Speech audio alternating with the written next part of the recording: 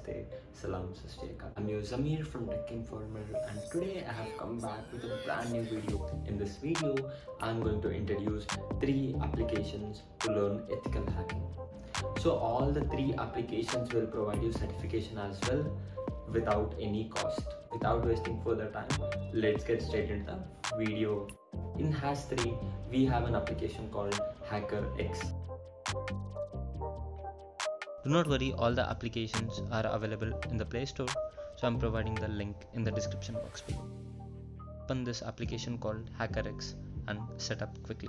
Click on next next, then sign up or sign in using your Google or Facebook account.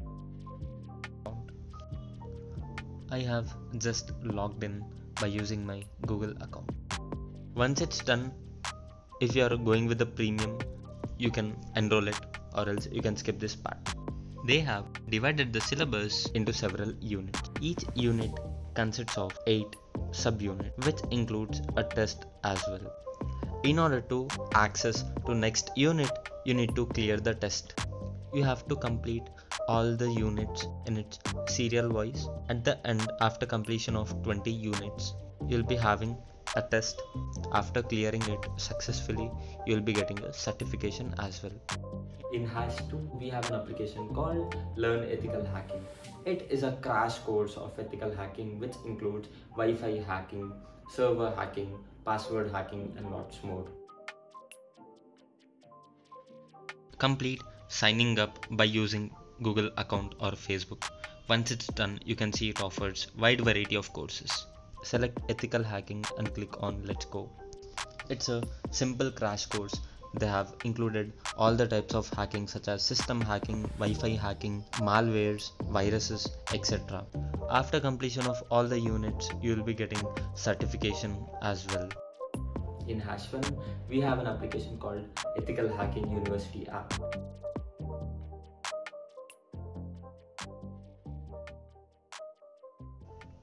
I'm personally using this app from last 2 weeks. I find this app pretty interesting in learning ethical hacking. I really found this application useful to learn ethical hacking.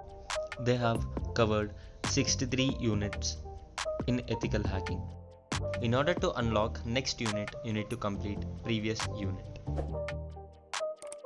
They have provided detailed information of every unit. They are covering more information from introduction to hacking terminologies, concepts and types of hackings, hacking phases, website footprinting, footprinting tools, malware threats, hacking web servers, and what not. They have covered around 60 units. I have been using this application from last two weeks, so I found this application useful. So I would recommend you try all this application and choose accordingly.